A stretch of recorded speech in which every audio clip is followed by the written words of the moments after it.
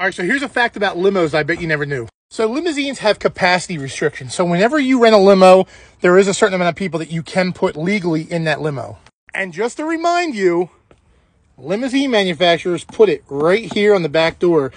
Total rear seating capacity, eight passengers. So legally, this limo is only allowed to have eight passengers inside at any time. Now, what makes this a big deal is the driver. If the driver gets stopped and there's more than eight passengers inside this limo, he can get some serious trouble. So that's why if you ever call up to book a limo and ask, what's your passenger rating?